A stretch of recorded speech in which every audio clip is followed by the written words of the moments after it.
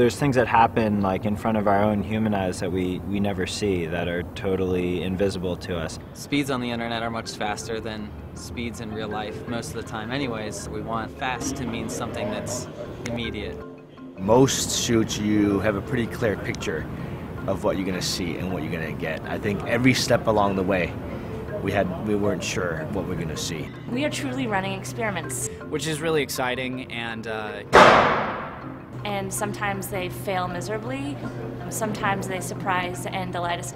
We needed to somehow benchmark what what Chrome Fast was, and we wanted to benchmark it against some things that people knew were going to be fast.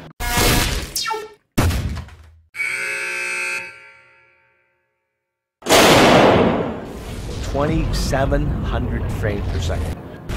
Okay, when you're capturing something, a page downloading at 2,700 frames per second, and trying to get the shot of a page loading at the same time as potatoes are flying across the screen, I, I mean.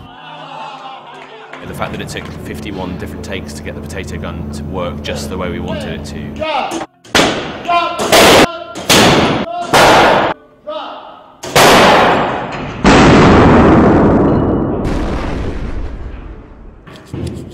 I think we've moved to the Idaho potato at this point. They're pretty good for uh, launching through a grater at high speeds. This is our original gun, but it couldn't fit in frame.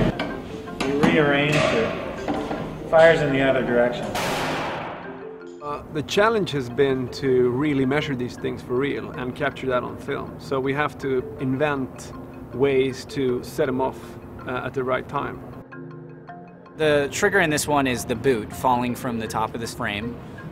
The double bass pedal hits the mouse, which clicks Chrome, and then also hits the keytar key at the same time.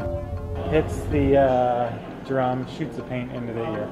That's corn syrup mixed with acrylic paint to get the right consistency to stay together when it's aloft. What's the right frequency? What's the right volume? The right kind of speaker? The right viscosity and density of the, the paint itself. We played around with a lot of things to set it off. I mean, just technically, what could you hit hit quickly to make a you know a blast? And then along came the keytar, and everything changed from there on. Uh, we didn't want to keep it polished and like looking clean and pristine. We wanted to feel sort of the inventiveness of the experiments. So it's not so much lab coats; it's more having fun and and blowing things up and stuff.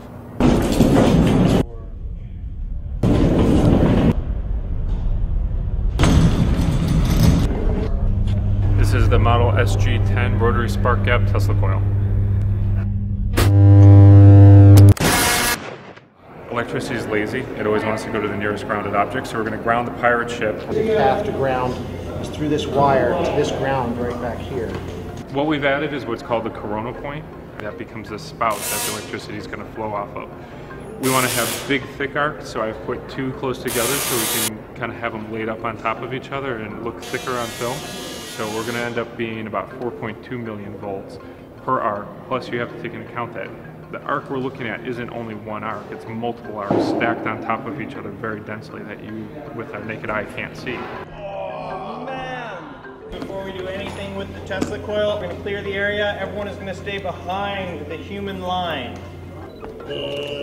I mean, the fact that we have a pyrotechnics expert, a ballistics expert, and a Tesla coil expert on set, um, that's exciting. Rather than saying, oh, well, we can fix that later. There's not been a lot of you can fix that later about this shoot, which is the dedication of the team to actually getting it really right in camera genuinely. And so when you really get to like sit back and watch it just evolve in front of you, it's amazing. I mean, it's, you know, you, you don't, we don't get to do that on a regular basis. Two, one.